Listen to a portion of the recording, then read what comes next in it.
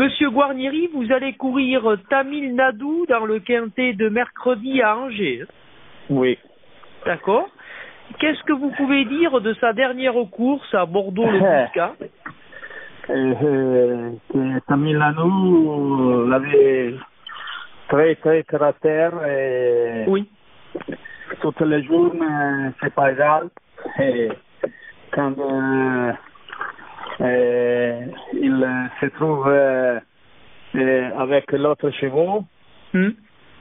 et elle s'arrête D'accord. regarde euh, à gauche, à droite et, et pas penser à gagner la course. D'accord. Il, faut qu'il soit en tête, alors il faut qu'il aille devant. Euh, oui, euh, oui.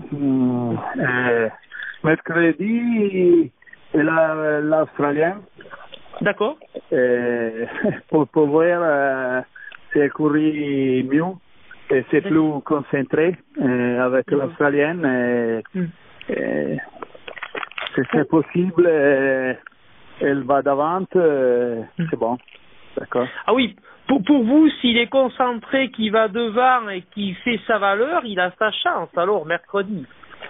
Pour moi, oui, mais les, les caractères des chevaux, c'est très difficile. Et... D'accord. Il faudra qu'il soit dans un bon jour, alors. Eh oui. D'accord, ok. D'accord. Bon, et, et la- voilà, la dernière fois, il n'a pas voulu euh, travailler quoi, Non, à Bordeaux. non, il n'a pas non, voulu s'employer. C'est facile, euh, cinquième, sixième, et quand les, les jockeys l'a dit de, euh, doit gagner, et Oui. ça reste.